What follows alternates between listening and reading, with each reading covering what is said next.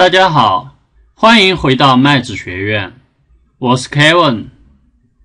在上节课中，我们学习了视觉感知力。这节课我们继续学习听觉感知力。先打开 Unity，我们去编写听觉感知力相关的代码。还是在 Sensor 文件夹下面创建一个听觉感知器。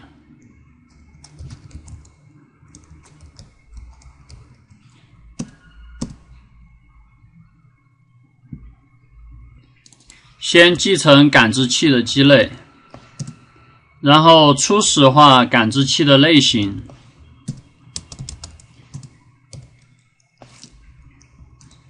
设置为。听觉感知器，注册这个感知器，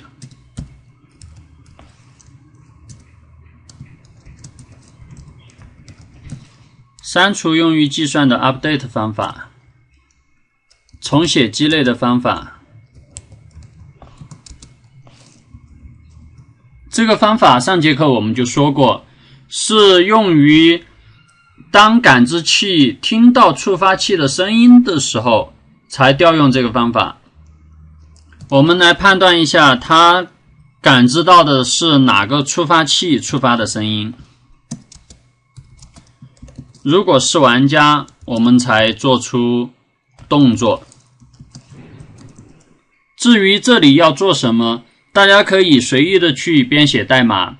你们想让 AI 对象做相应的事情，就在这里去写相应的代码。我们这里还是让它向角色移动，所以代码跟上节课的很像。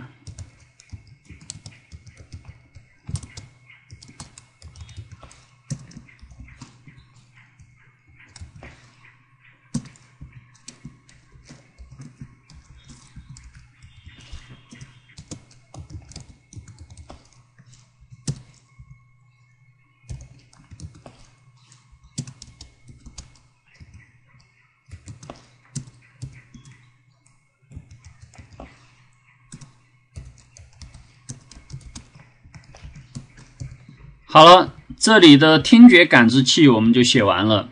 再返回 Unity 去写听觉触发器，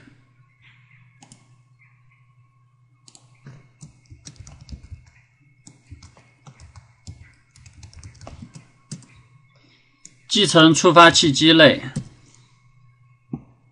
注册这个触发器。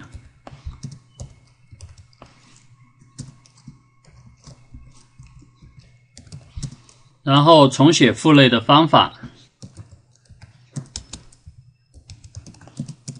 先写这个判断方法，它用来判断感知器是否能够听到触发器发出的声音。这里先获取触发器对象，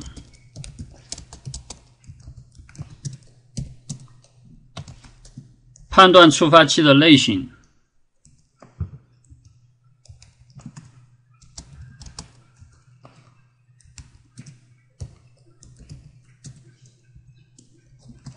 我们的听觉感知力并不是 AI 对象真正能听到声音，而是通过两个对象之间的距离来模拟的。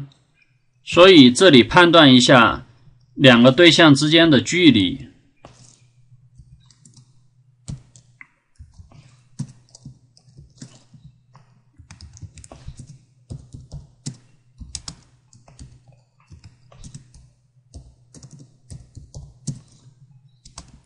如果它们之间的距离小于触发半径，我们就认为它能够听到声音，就能发现对方，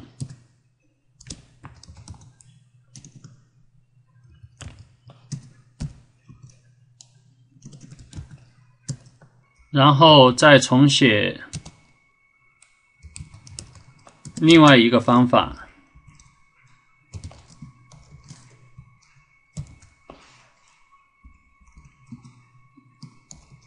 如果感知器与触发器在有效范围之内，我们就通知感知器做相应的动作。这就是我们的听觉触发器。现在代码写完了，我们返回到 Unity 去看一下效果。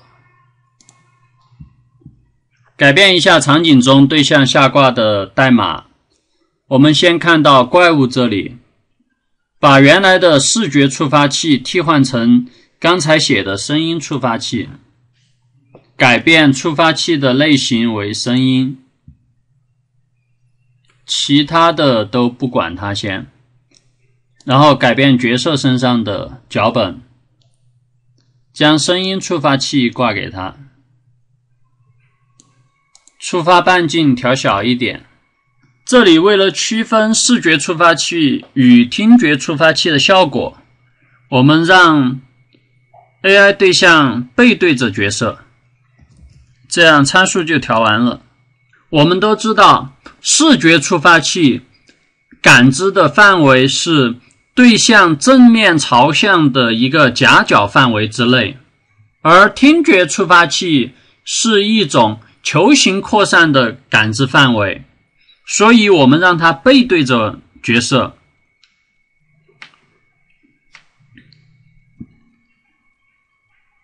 现在将项目运行起来，看一下效果。当角色没有进入 AI 对象的感知范围的时候，对象什么事情都没有做。一旦角色进入它的感知范围，也就是模拟了 AI 对象听到了角色的声音，所以 AI 对象就朝角色转向并移动到角色的位置。这里的听觉感知器写的非常的简单，因为在我们的项目当中其实是用不到这种感知力的。听觉感知力用的最多的是射击类游戏，AI 对象可能会去判断角色的脚步声以及枪声，然后去追踪角色。大家下来可以将听觉感知器复杂化。可以将 AI 对象的反应写得更智能，这就是我们听觉感知器的内容。在很多游戏当中，还需要用到像触觉感知或者记忆感知这一类复杂的感知类型。触觉感知在 Unity 里面非常好做，我们可以给角色或者 AI 对象添加一个碰撞器。当碰撞到指定物体的时候，做出相应的反应，这个非常简单，但是运用的地方也很多。比如 AI 对象如果感知到地上有血瓶，然后它移过去吃掉这个血瓶，我们就可以用触觉感知来做。又例如 AI 对象移动到自动门的时候，门自动打开。这个也是触觉感知在做，记忆感知相对用的很少，大家可以下去看一下相关的内容。这些就是我们感知力的内容，这几种感知力我们都写的很简单，大家下来多花点时间去尝试将这些感知力写得复杂一些，让我们的游戏对象看起来更聪明。接下来我们要学习一个非常实用的插件，a sin Pathfinding Project。这个插件会在接下来的项目开发中运用到，所以在这里给大家讲解一下。A 星算法是一种非常强大的路径规划算法，这种算法涉及到的内容非常多，这里就不一一讲解了。希望大家下去。查阅一下相关的资料。虽然在今后 U3D 项目开发过程中，大多会用插件来实现相应的功能，但是了解 A 星算法的实现机制，对游戏开发是非常有帮助的。我们先来看一下 A 星 Pass 的官方示例。在这里，我们已经将插件导进来了。我们先打开第一个场景看一下。将场景运行起来，这里有一个 AI 对象在寻找出口，移动到山的另外一边去。这就是一个最简单的路径规划行为。虽然这种行为用我们前面写的 AI 对象个体行为当中的抵达以及避开障碍也可以实现，不过这种方法过于简单，在障碍物较多或者障碍物体积较大的情况下，我们写的那种简单的个体行为就不太实用了。我们再来看一些其他的事例，这里有一个相对复杂的事例。这个小球会跟着我们鼠标移动。这里有一个 AI 对象，它会不断的规划新的路径来移动到小球的位置。我们运行起来看一下。现在我们将小球拖到这里，大家可以看到 AI 对象避开了这中间的障碍物，然后我们将小球放到这边。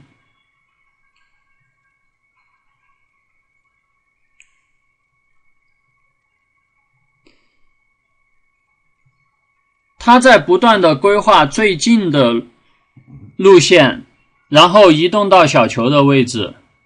我们将它放上来。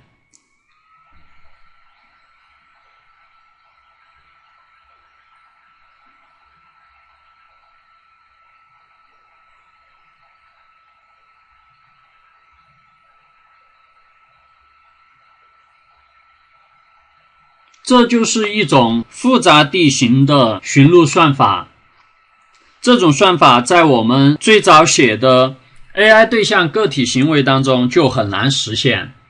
接下来，我们就来看一下这个插件的具体使用方法。先关掉项目，在我们编写代码之前，先来创建一个场景。这里我们就用以前的场景。我们先在场景里面放一些障碍物，在放障碍物之前，来写两个层级。这里 ground 土地那个层已经有了，我们再来添加一个碰撞的层，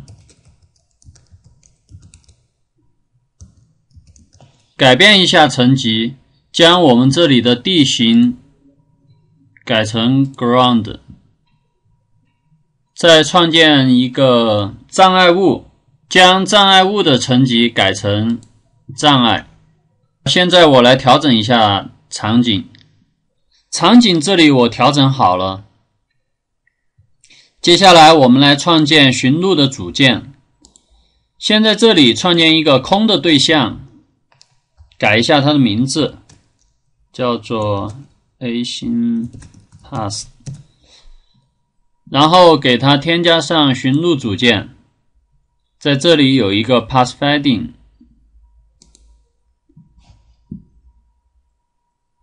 这里不导它。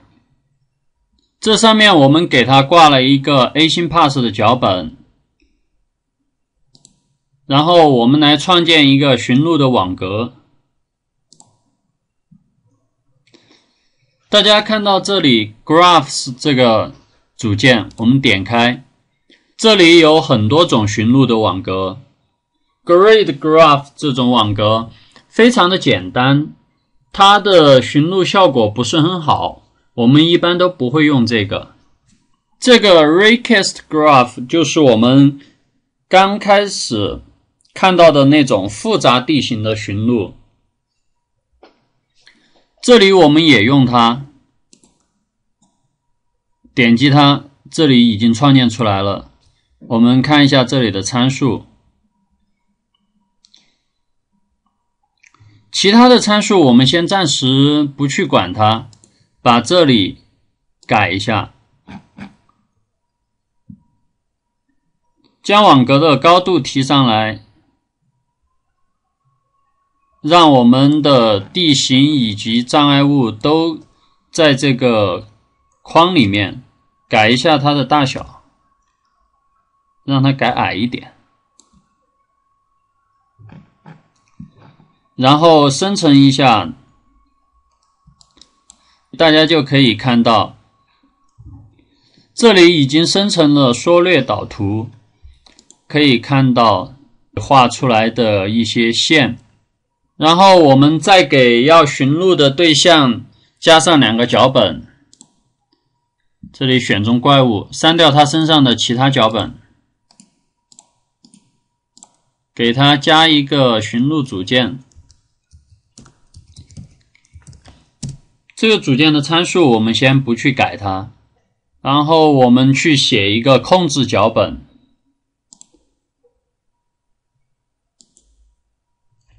在这里加一个文件夹吧。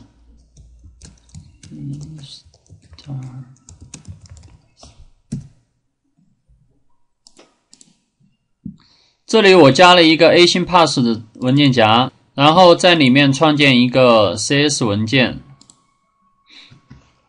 我们给它取名字叫 A Star AI，叫 A 星 AI。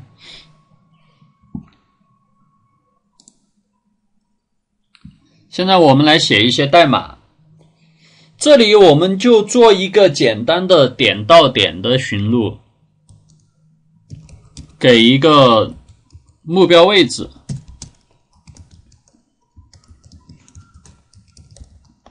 然后再是一个把路径组件加进来，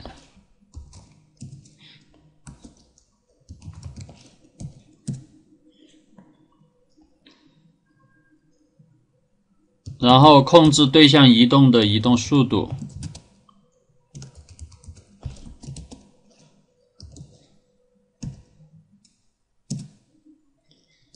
控制对象转向的速度，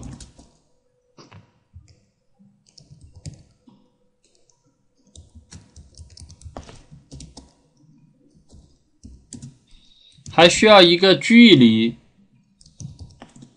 这个距离就是当角色与路径点小于这个距离的时候，就让角色向下一个路径点移动。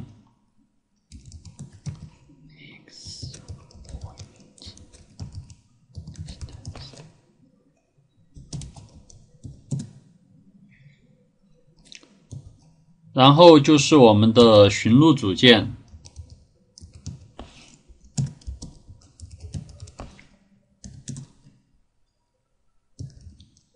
角色控制组件，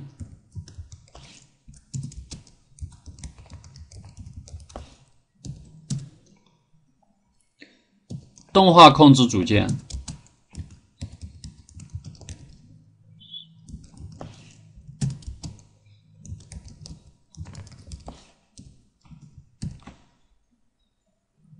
以及当前路径点，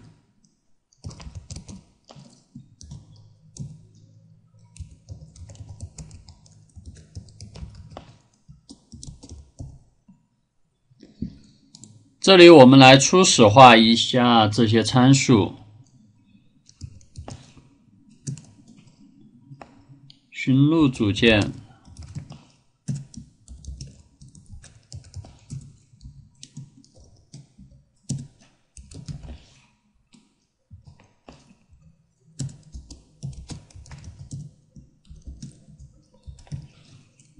角色控制的组件，以及动画控制的组件，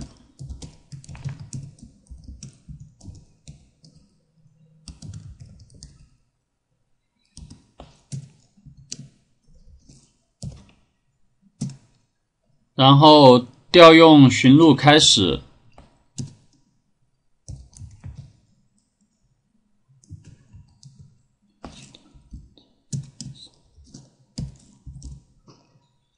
将对象的位置以及目标的位置传进去。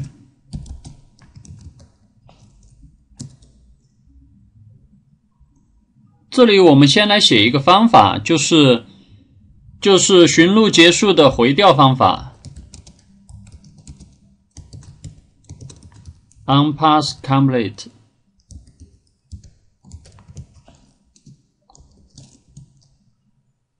将路径传进来。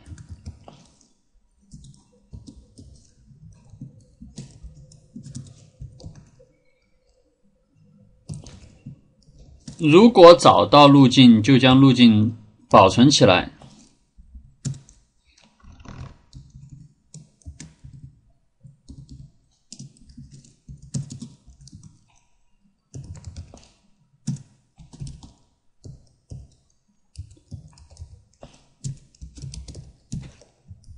这方法的作用就是将找到的路径保存起来。然后我们在 Start 方法里面注册一下这个方法。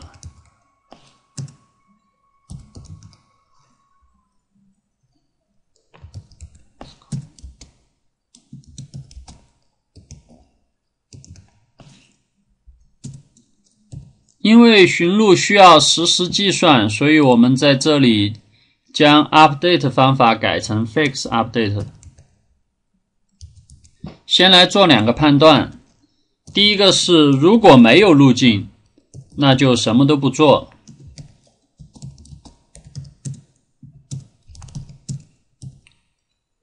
如果已经是最后一个路径点，也就是寻路到达终点，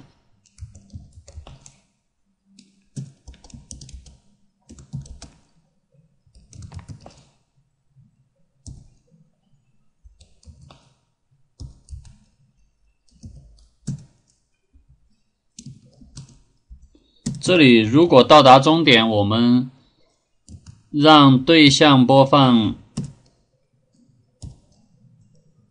站立动画，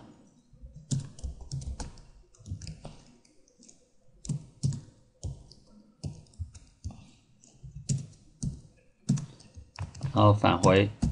如果有路径并且没有到达终点，我们就让角色移动。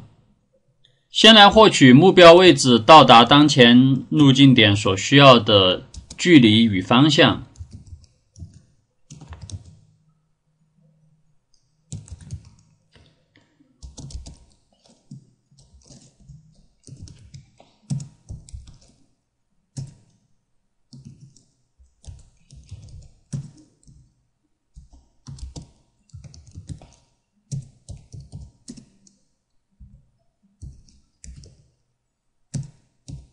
然后计算移动所需要的速度，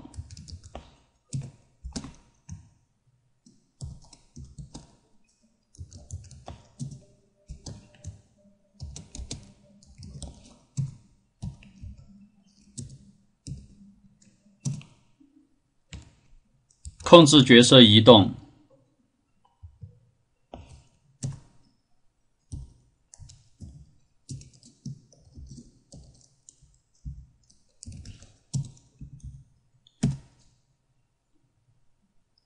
并且播放移动的动画。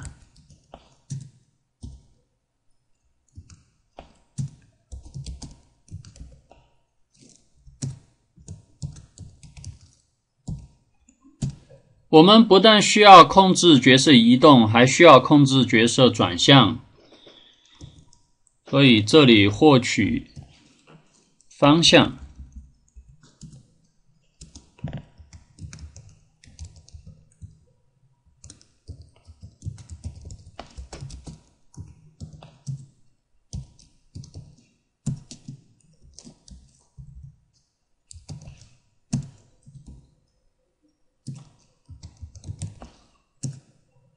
让角色朝路径点方向移动，所以需要控制它转向。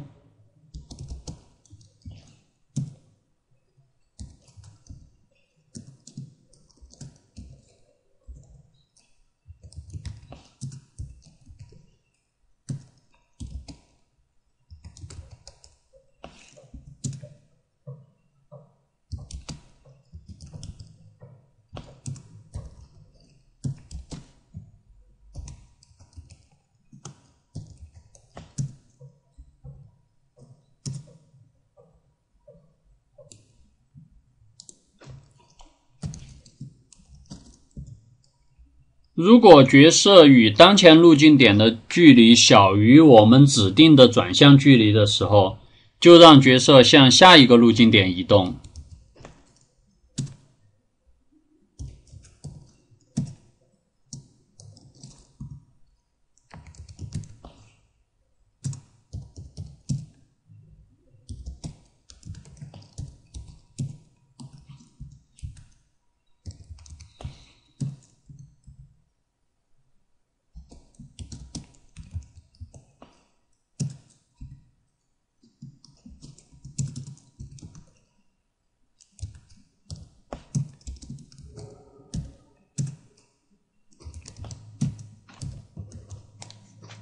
这就是我们寻路控制角色移动的方法。现在我们再出去设置一下 U3D 的场景，就可以将项目运行起来了。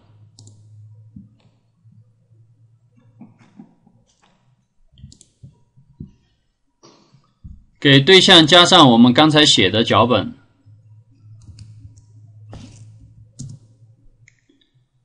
给他一个目标位置，我们就让他移动到角色的这个位置，所以将角色的坐标给他就可以了。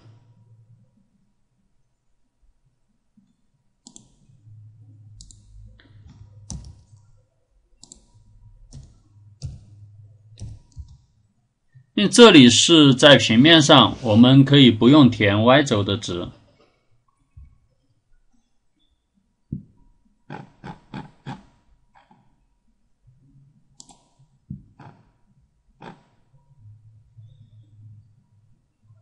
生成一下导视图，便于我们看到路径。好了，我们将项目运行起来看一下。为了清楚的看到路径，我们在编辑界面来看，大家可以看到，是不是觉得这个路径有点奇怪？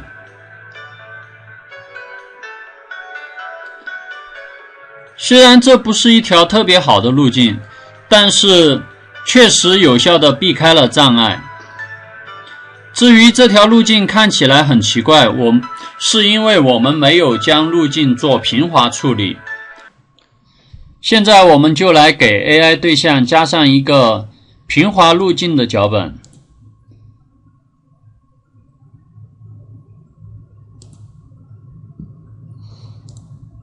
这里我们先调整一下这些参数。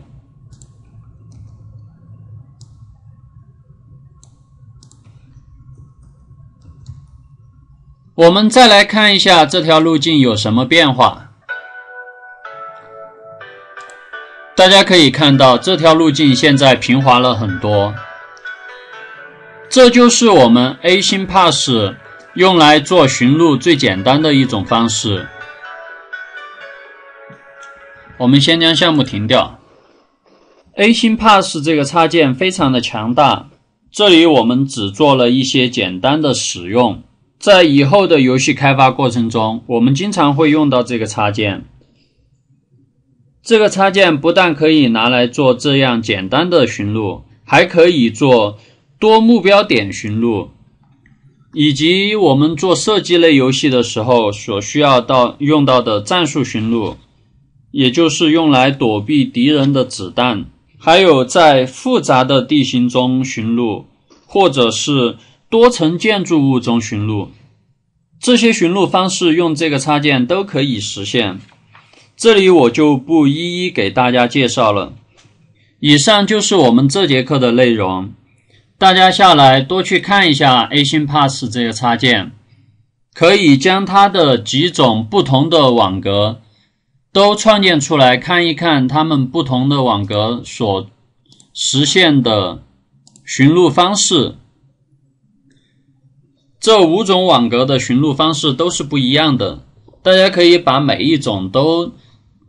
拖到地形里面来看一看，看一看哪一种网格才是最适合我们要做的游戏，或者说将来你们要做什么样的游戏，用什么样的网格来寻路最节约资源，以及寻路的效果最好。这些就是我们这节课的内容。下节课我们将要实现状态机控制角色状态。希望大家下来去看一下。好了，我们下节课再见。